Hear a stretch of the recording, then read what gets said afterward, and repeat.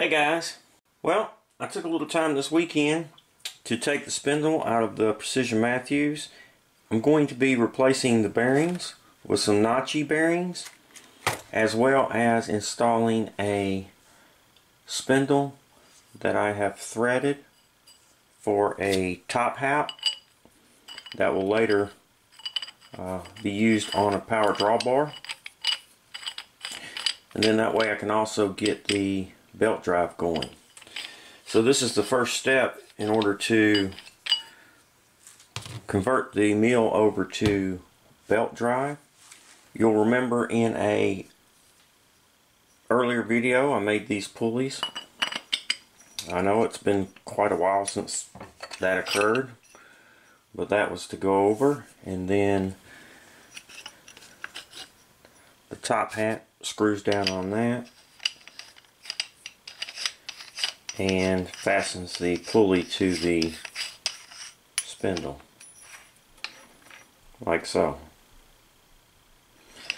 Now there's been quite a bit of changes. Uh, part of the reason why it's taking so long to get this belt drive going. As you guys know, going to be switching over to DMM servos, which will require me to build a new control box. So with that upgrade coming, um, the belt drive is going to change as well. I'm getting rid of the one horsepower motor that I currently have uh, mounted here and this is this is an IEC metric motor which is great because it bolts right up to the stock low uh, gearbox and I can run this through Mach 3 uh, it will it is a 3400 RPM motor so I've increased the gearbox RPM to 3400 and originally that was what I was going to go with. Uh, with the DMM upgrade I decided I would go with a one and a half horsepower motor. And I was going to use AC bearings in the spindle and try to increase the RPMs However, I realized there's just not enough room in the spindle housing to get a double stack of bearings. And without doing that you're really not benefiting from going with the AC bearings. And I think it'll just induce more run out by only using two bearings. So I decided to go back with uh, Nachi bearings which are just your tapered roller bearings and those are limited to 7500 RPMs on the top bearing which is the smaller one and 5600 RPMs on the bottom bearing. So with all of that going on and the fact that because I'm not really tying to the gearbox anymore I don't need a metric motor that has the 19 millimeter shaft. And to be honest I can go with any motor so after speaking with uh, some friends, Wyatt, Chris, some buddies of mine, Graham that I Skype with on a regular basis, uh, I've just decided to upgrade to a completely different motor. This is just a standard inverter duty marathon type motor. It's a good bit bigger than the motors I'm using now. It's still a uh, one and a half horsepower, but it's it's a thousand to one torque it's going to really be a, a, a, big improvement. So with that I decided to take my uh, spindle apart and start to uh, rebuild it with the new uh, threaded spindle and get some new bearings in there. And then that way I'll be on my way to the belt drive upgrade. I'm still going to use the motor I'm currently using uh, temporarily until I get the control box built and then I'll swap it over to the bigger motor. So let me take a minute and show you I I was out here working and I didn't think to film it but I took all these bearings out and I really didn't know how much trouble it was going to be so let me just kind of go over and do a review of how I got these bearings out. So this bearing here is the bottom bearing and it goes down over the shaft or over the spindle and it sits like so. So it slides down and gets pressed onto this race here. Now that one, in order to get this off, I just turned it upside down and took a wooden block and placed it around here. And then I used a dead blow hammer to just kind of tap around it lightly. And it came off fairly easy. The race, however, was down inside the spindle. But luckily, you could reach underneath it here and grab it. So what I did was, this was pressed down in there. So I just took a bearing puller and I was able to use these arms to grab it like so.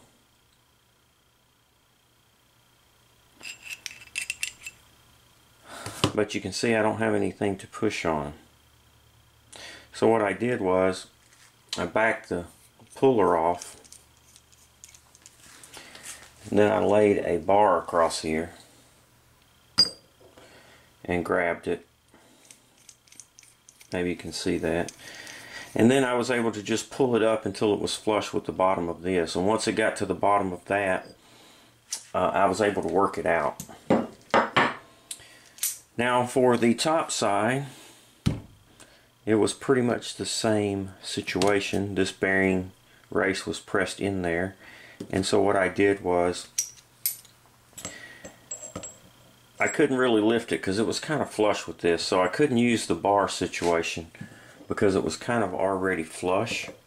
So what I did was, see if I can get this situated. I just took this and put it in my vise. And this particular vise has this square tubing here.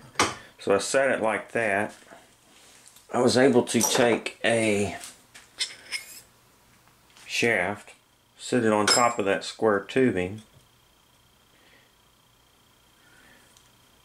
then press against that as this was clamped in there and it just pulled the bearing completely out or the race completely out. It was really very simple. Um, it didn't take much time and I was really happy with the way it turned out. Uh, to be honest, it came out fairly easy, so I was really pleased with that. So now that I've got it all out, um, of course this bearing went in the top like so, and it just slid over the slid over like that. Then you had this uh, castle nut that screwed down to tighten it until you got the right tension. And a lock ring with these bendable tabs that you just bent up to lock it in. Pretty simple, straightforward stuff there. Uh, pretty self-explanatory, I think. So now I'm ready to clean this up and install my new bearings. Now the new bearings I'm going to be using some of this Kluber Isoflex 15. This is pretty much standard. Everybody seems to be using this. I got this from CNC Specialty Store. Now I didn't get it recently. This was several years ago. Uh, this is a 50 gram tube and it goes a long way. So but I'll be packing the bearings with the Kluber, uh, Kluber Isoflex and uh, seeing if I can't get this thing back together. So let's do that. Okay, so I've got the spindle cleaned out. I'm going to start installing the race first. If you've got a, a press, this would probably be the best way to do that. I do have a press, but it is not tall enough. It's just a small little one-ton arbor. I'm going to just try to gently tap this in place. Take a block of wood and a dead blow.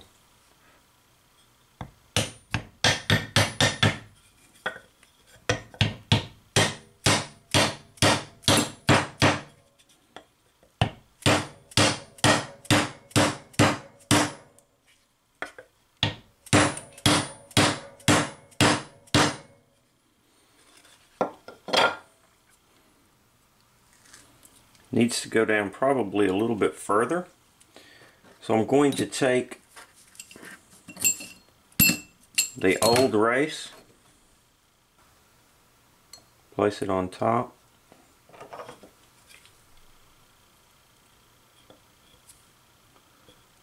Just make sure.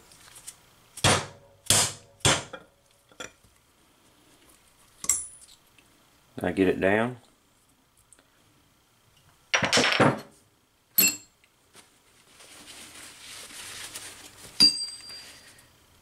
Feels like it's down all the way. So that top one's in.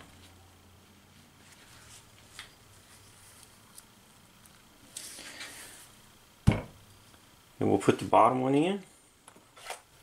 This one actually just slid in, so. Alright, so we've got our bearing races in. And you can kind of see, maybe, up under here that there is a, a lip that you can grab. So, you can see you can get up under there. Alright. Next, we want to put our bearing down on our spindle. I think I'll grease these after I get this down on there. I'll be able to work, I should be able to work the grease down in there, so let's just do that. That might be the easiest thing. I've got the bearing on here, but I need a way to get it all the way seated. So what I did was I found a piece of aluminum tubing, which is nice. However, it's it's really too big because it hits the bearing instead of the race. So I made this little adapter out of some PVC. You could use aluminum, whatever you got. And now you can see that that'll just hit the race. And so I can knock that down. So what I'll do is I'll put my pipe over like so. And then I can just tap on the top of the tubing.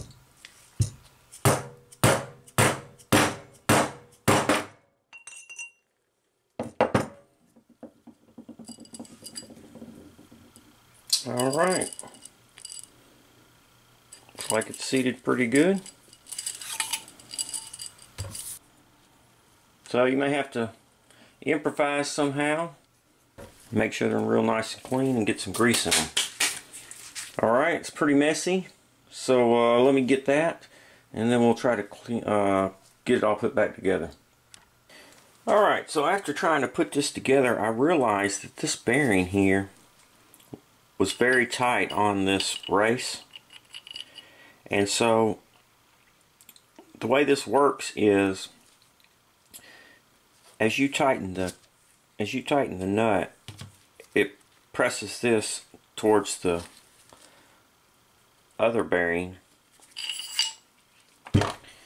against the two races so you need it needs to be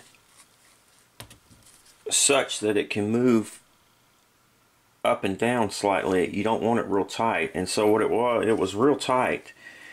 On my old spindle, it moved a little bit. However, on the new one that I had threaded, it did not. So I took it and put it on the lathe, took some real fine grit sandpaper, and just worked it down until I was able to get the bearing so that it would uh, move up and down freely on the uh, bearing surface here. So now that I think I have that, I can go ahead and put it together. I've got a little bit of Kluber in there. I've got Kluber on the bearing here. And then I'll pack some more in from the back side uh, once I get it assembled. Let's get this in. like so. Okay. Make sure I've got some grease in this. It looks pretty good, but I'm going to add a little more. Get it worked in there real good. I just pack these just the way you would wheel bearings. Uh, I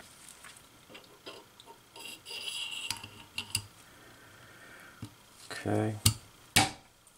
You can see how it slid down on there and that's what you want. So we will put the uh, keeper washer on there.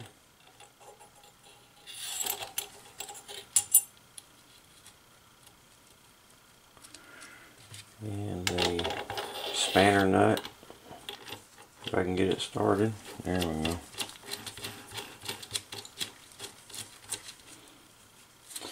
Now, yesterday it was so tight, and when I went to spin it, I could barely spin it. But now I can see that spinning pretty good.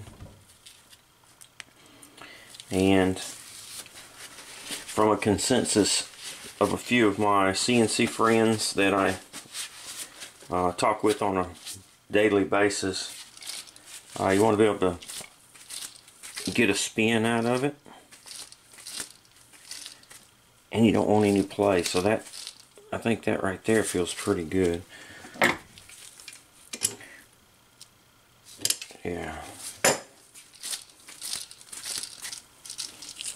feels pretty good however you want to try to line up one of your little notches here with the keeper so let me see if I can't get just a little more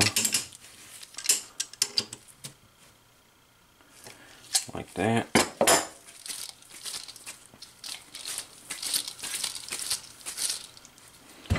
That feels pretty good right there. And you can see that I have this keeper lined up. So I'll just push it in place.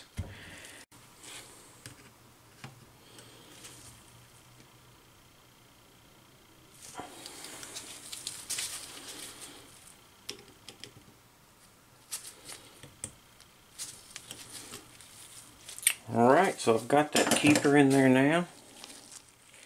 You can see it's locked in there.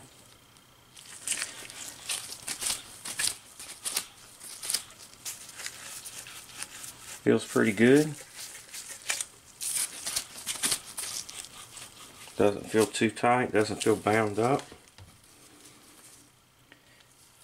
Make sure we got plenty of grease in here.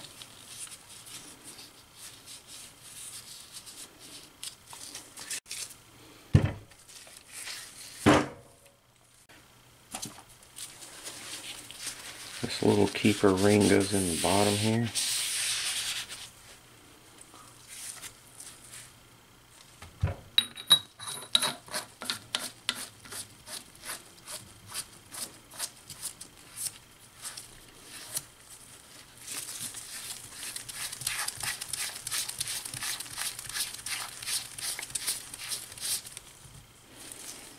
Alright, I have to get something to tap that and uh, tighten that up. Okay, well I just took a hammer and a punch and just tightened that up. Should be good to go now. We can put this back into the mill.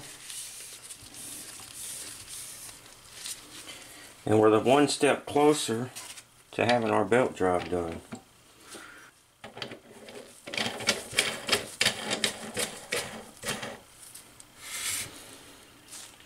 Alright guys, that wraps up the spindle bearing replacement. Um, you can kind of see some wearing if you look real close. You can kind of see some scarring there in the center. But I did run these bearings you know, twice what they were supposed to be ran at. But they should have handled it. I don't know what brand this is. It says C and U on there. But if you are looking for uh, spindle bearings for the Precision Matthews 727, the big bearing is 30207. And the smaller bearing is three zero two. 30205. But thanks for watching guys. If you have any questions or suggestions, please feel free to comment. Um, my videos are kind of sporadic and uh, just kind of bouncing all over the place um, because that's the way my life seems to be going at the moment. Hopefully I'll try to get on something steady and I can stay with it. Thumbs up if you like the video. Thanks for watching and most importantly, be safe.